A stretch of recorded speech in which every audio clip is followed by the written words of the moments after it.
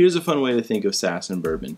If this guy, this little Steve Rogers here, is CSS, when he gets injected and becomes buff, he becomes Sass, right?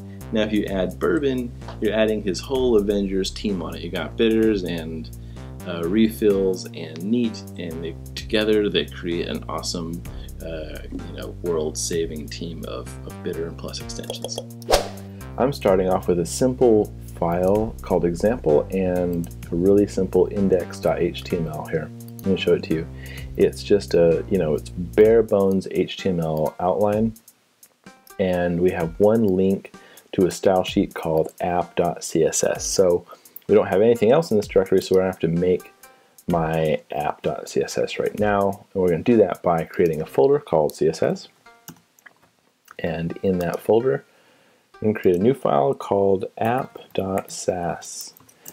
now I'm gonna use app.sass to be the endpoint for all of my Sass. It's all going to be compiled right to here and then output to app.css, which is linked to in uh, my document. If, so if I write body and say background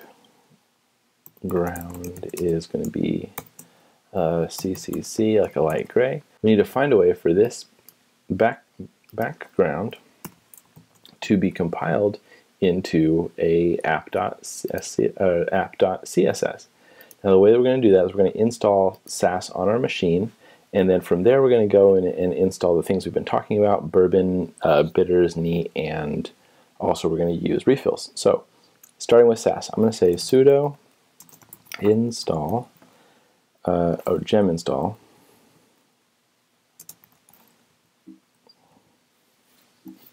Sass. And my password is, just kidding, I'm not telling you. Cool. Um, great, we have uh, Sass installed. Now I'm going to uh, do the same thing for, for uh, Bourbon. sudo gem install bourbon. I'm wait while that installs, and looks like it's all good.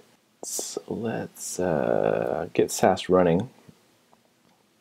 Uh, open a new tab, and I'm going to need a CD into my uh, working directory. So that's going to be my desktop and example is what I call this thing, and then uh, CSS. Now that I'm in there, I'm going to write uh, sass dash dash watch. I'm going to identify my Sass file app.sass and I'm going to say colon to identify the output file. I want it to be app.css and go. Okay, it looks like it it's all good. It's it, it wrote the new app.css right here. Background CCC. And when I refresh my browser window right here, I can see in the background it's this nice, nice light gray. And I can also notice that Sass is watching this directory for changes, and I can stop it any time by pressing Control C.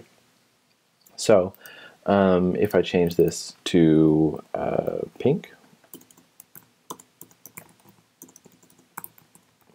then my uh, browser window will be a background of pink. Pretty easy. Okay.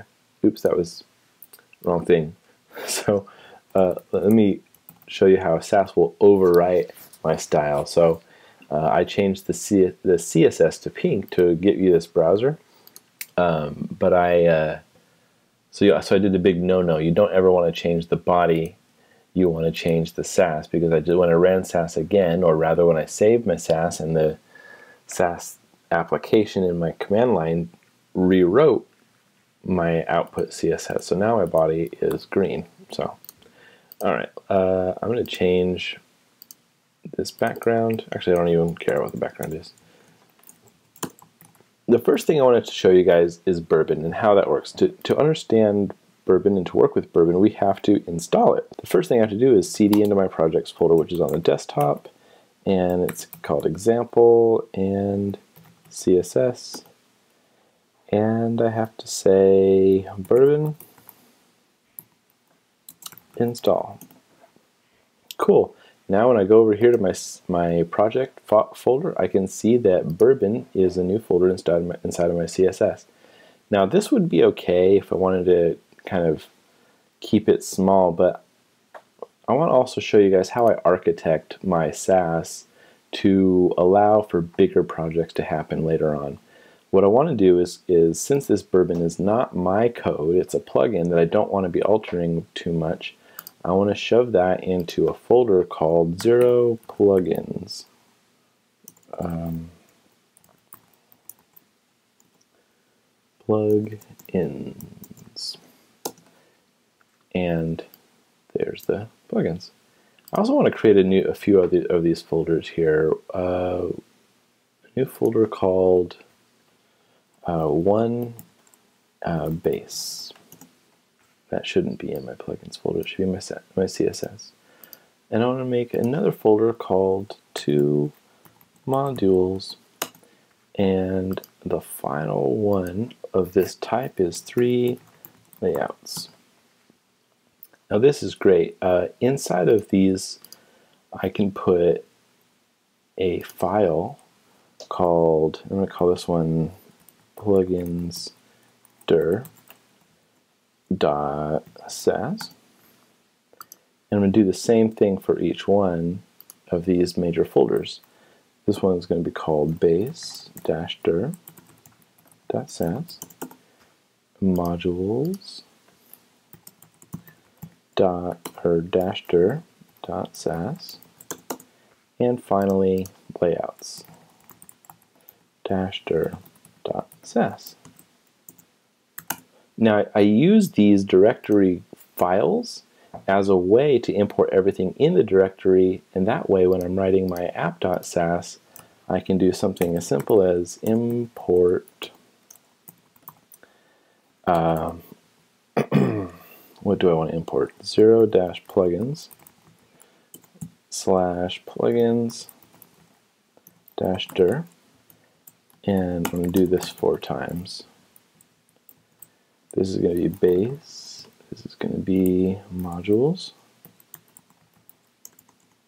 and it's going to be layouts. Same here, layouts, it's going to be three, two, and one. Base, and modules.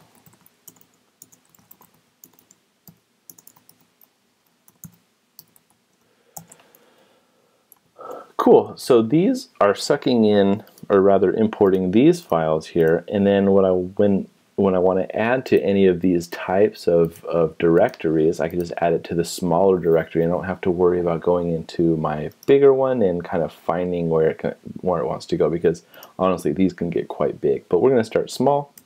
And now the first thing we'll do is add, import uh, bourbon slash bourbon.